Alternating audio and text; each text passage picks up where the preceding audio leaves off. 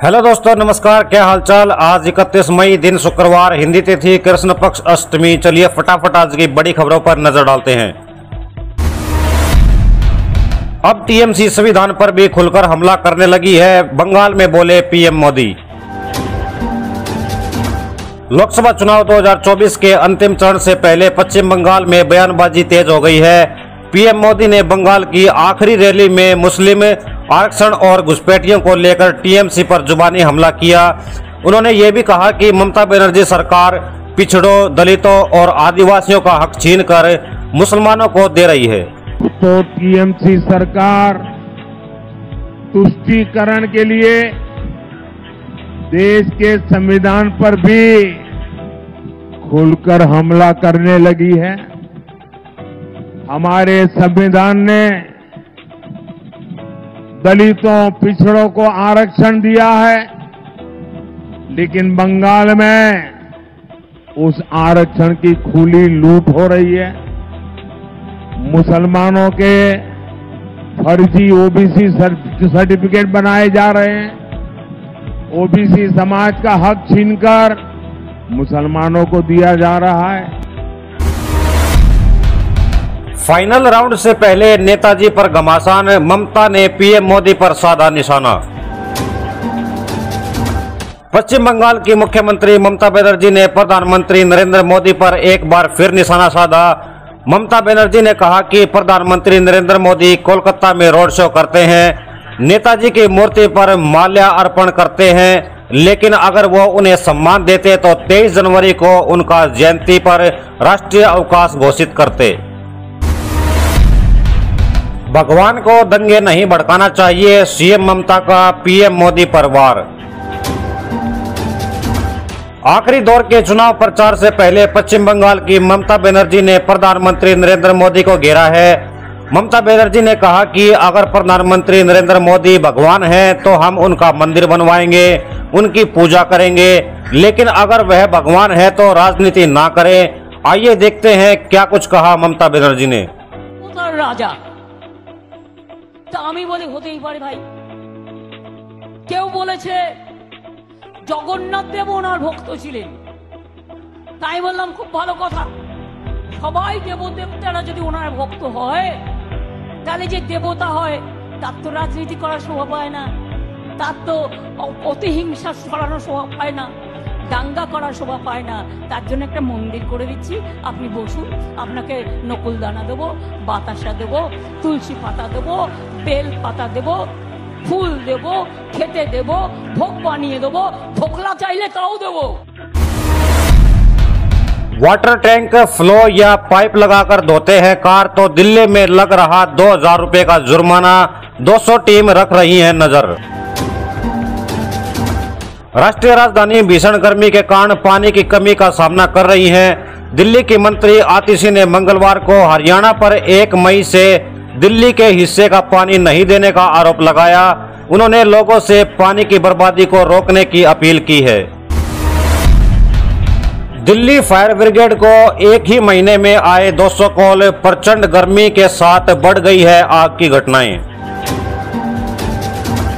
24 घंटे में आग से जुड़े एक कॉल प्राप्त हुए, जो कि यह इस साल में एक दिन के भीतर दर्ज किए गए सबसे अधिक कॉल थे। आपको बता दें कि दिल्ली में तापमान 50 डिग्री सेल्सियस के ऊपर जाने से आग से संबंधित घटनाओं में वृद्धि देखी जा रही है। सीएम पटनायक की तबीयत बिगड़ने की जाँच ज़रूरी, मयूरभंज में बोले पीएम मोदी। प्रधानमंत्री नरेंद्र मोदी ने ओडिशा के मुख्यमंत्री नवीन पटनायक की तबीयत पर सवाल उठाए हैं। मोदी ने पूछा कि एक सवाल में उनकी तबीयत ऐसे अचानक कैसे बिगड़ गई? प्रधानमंत्री ने यह भी कहा कि उनकी सरकार 10 जून के बाद ओडिशा में एक स्पेशल कमेटी का गठन करेगी, जो नवीन पटनायक की तबीयत की जाँच करेगी। इसमें उस लॉबी का तो हाथ नहीं है ना, जो नवीन बाबू के नाम पर पर्दे के पीछे उड़ीसा में सत्ता भोग रहे हैं। इस रहस्य से पर्दा उठना ज़रूरी है। उठना चाहिए ना? पर्दा उठना चाहिए ना? पर्दा उठना चाहिए ना? इसका पर्दा उठना चाहिए, इसकी जाँच आवश्यक है। इसलिए 10 जून के बाद उड़ीसा में भाजपा सरकार का विजय होने के बाद हमारी सरकार उड़ीसा की भाजपा सरकार एक स्पेशल कमेटी का गठन करेगी और ये जाँच करेगी कि अचानक नवीन बाबू की तबीयत क्यों गिरती जा रही है।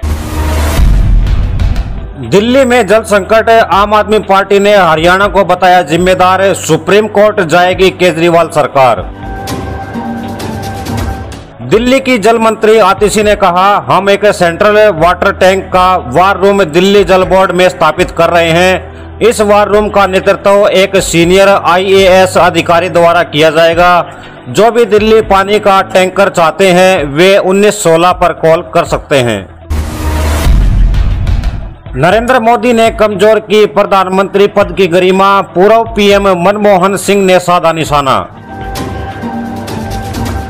पूर्व प्रधानमंत्री मनमोहन सिंह ने पीएम नरेंद्र मोदी पर निशाना साधा और उन पर एक विशेष समुदाय या विपक्ष को टारगेट करने के लिए नफरती और असंसदीय भाषण देकर प्रधानमंत्री पद की गरिमा को कमज़ोर करने का आरोप लगाया है। एनडीए की हुई हार तो उसके बाद करेंगे कानून में सुधार, बोले केजरीवाल। दिल्ली के मुख्यमंत्री अरविंद केजरीवाल ने इंडिया टुडे टीवी के सरदेसाई से खास बातचीत की। इस दौरान उन्होंने कई मुद्दों पर बात की। केजरीवाल से पूछा गया कि आपने एक रैली में कहा था कि अगर बीजेपी को वोट दिया गया तो उन्हें जेल जाना होगा। इसे लेकर उन्होंने जवाब दिया है। देखें वीडियो। जेल तो मुझे दो तारीख को जाना है। जी। नतीजे चार को आएँगे। जी। कहने का मतलब ये है कि अगर एनडीए हार जाती है मोदी जी हार जाते हैं तो कानून को ठीक करेंगे। जिन लोगों को ज़बरदस्ती जेलों में ठूसा हुआ है, उन लोगों को बेल मिलेगी। ईमानदार लोग जो अभी जेलों में सड़ रहे हैं, उनको बाहर निकाला जाएगा। और जो बेईमान लोग हैं, जिनको इन्होंने अपनी पार्टी में शामिल करा के उनके सारे केसेस रफा दफ़ा कर दिए, कितने लोग हैं? इस देश के जितने भ्रष्ट लोग थे वो बीजेपी में ये लोग अपनी पार्टी में शामिल करा लेते हैं और उनके सारे ईडी सीबीआई केसेस बंद हो जाते हैं। असली दोषियों को असली भ्रष्टाचारियों को आ, सजा दिलवाई जाएगी। पवन सिंह सुरमई अंदाज में मांग रहे वोट प्रचार के लिए बनाया खास गीत। बिहार की काराकाट सीट से निर्दलीय उम्मीदवार पवन सिंह गाने गाकर अलग अंदाज में जनता से वोट मांग रहे हैं। पवन सिंह ने बताया कि उनका कैंपेन सॉन्ग यूट्यूब पर ट्रेंडिंग में भी रहा। यह गाना काराकाट की जनता को याद भी हो गया है। उम्मीद है कि जनता हमारा साथ देगी। बिल्कुल, मैं भी बनाया हूँ। और कल मेरे साथ मेरा छोटा भाई हमारी इंडस्ट्री का दुलारा प्यारा कलाकार है, स्टार है। जिसका नाम है अरविंद अकेला। प्यार से उसको लोग कल्लू बोलते हैं। नमस्ते नमस्ते। ये आप एनर्जी या जोश हमारे भाइयों में देख रही हैं। मेरा भाई ही मुझे संतावना दे रहा है बेटा भाई विजय बाबा।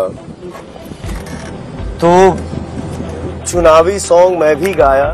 ये पहली बार मैंने अपने जीवन में देखा कि किसी किसी आर्टिस्ट का चुनाव का गीत जो है वो बारह दिन या तेरह दिन एक हफ़्ता तो नौ दिन तो एक नंबर ट्रेंडिंग पे रहा।